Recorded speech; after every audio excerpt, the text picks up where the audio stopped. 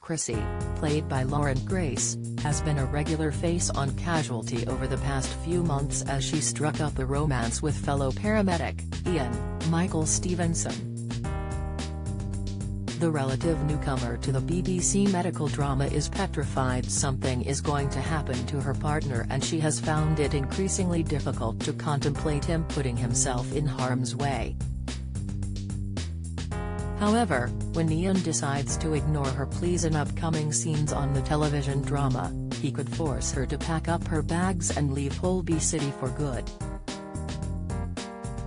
The drama begins as Chrissie discovers Iain has been hiding a map of all the farms in the local area where modern-day slavery could be happening. This is a storyline which began a few weeks ago when the paramedic found a man in the water and discovered he had come into the country in the back of a lorry. Believing Iain could be in serious danger, Chrissie asked him not to pursue a lead on this and she is devastated to learn he didn't listen to her. Wanting him to be safe, she reports her other half to his boss, Jan Jennings, Di Botcher, as she thinks this could make him stop. However, it's not too long before Jan is offering up some information Iain needs to complete his mission to find the base of modern-day slavery.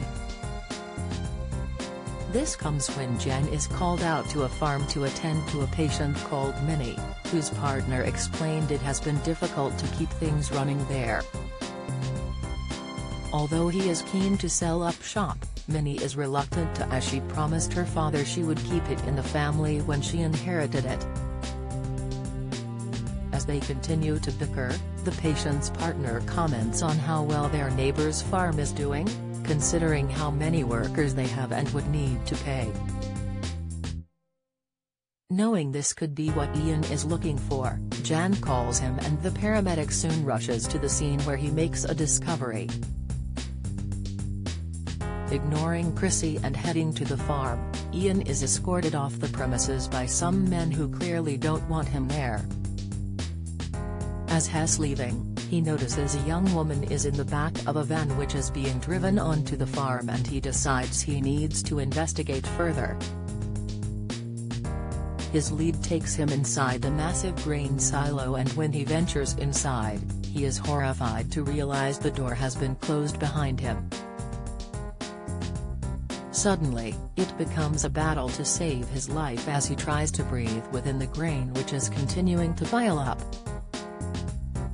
Luckily, he manages to call Chrissie to come and find him and when she arrives, she pulls her partner to safety. Just as Chrissie does this, the National Crime Agency arrive and stops all production on the farm as they carry out their investigation. As Iain is still distracted by the matter at hand, he doesn't realize how furious his partner is with him or how panicked she is. When the day finally ends, Iain is ready to go home but he is confronted by a distraught Chrissie who has some news for him.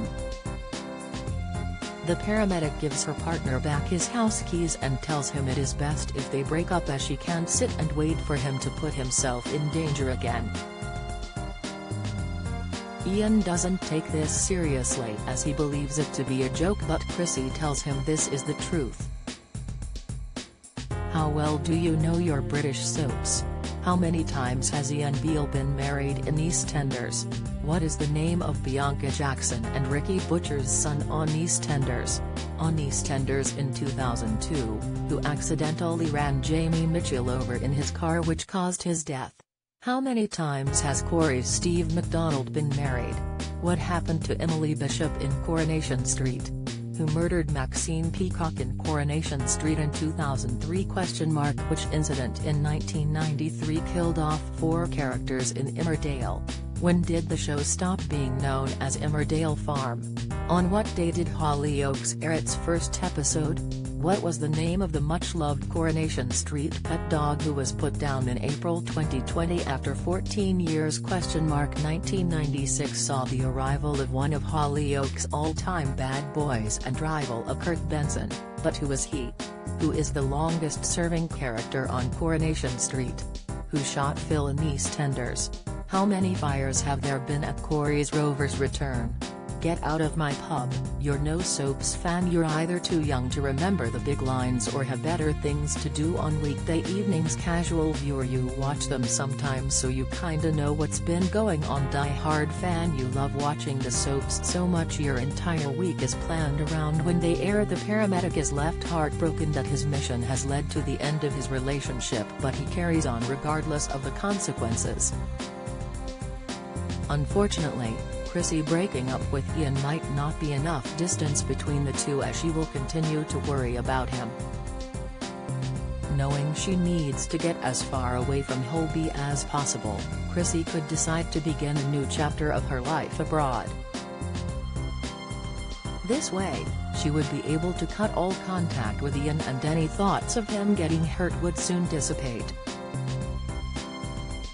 But knowing she could be the love of his life, will Iain wake up and realize he is making a huge mistake by losing Chrissie? In real life, the actors who play Chrissie and Iain, Lauren and Michael respectively, are a couple and the latter has spoken out about working with his other half.